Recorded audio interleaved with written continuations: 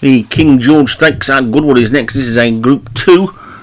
Over five furlongs, Gixie Speedster and the a Twister for Vinnie Gerard, Blessed or Blessed for Joshua Sutherland, Manchones, Darren Thompson, Roman Warrior and Sierra Blanca for Paul Rhodes, Tylo's Oil, James Shea, Clanashi Francis, Derek Hinton and Crypt for Rod McLean. So just nine this time. That's a big field on today's standards. In the group races anyway, they're away and racing.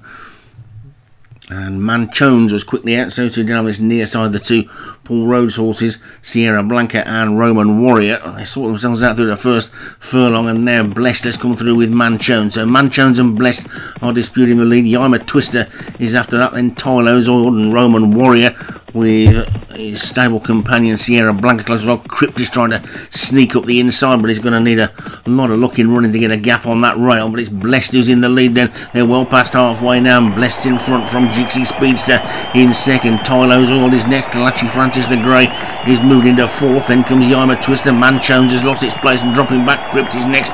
Roman Warrior and Sierra Blanca the back two. They're inside the final furlong, and it's Blessed from Jixie Speedster and Tylo's all on the inside. It's just Blessed in front at the moment. Jixie speeds to those starting to lunge. Tylo's all hanging on. Jixie Speedster it's going to be close as they flash past the post. It's just blessed, I think. Just hanging on.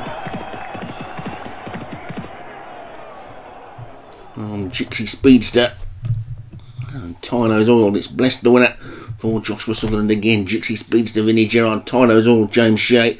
I'm a twister for Vinnie Gerard was fourth, and Clanashi Francis for Derek Hinton was fifth.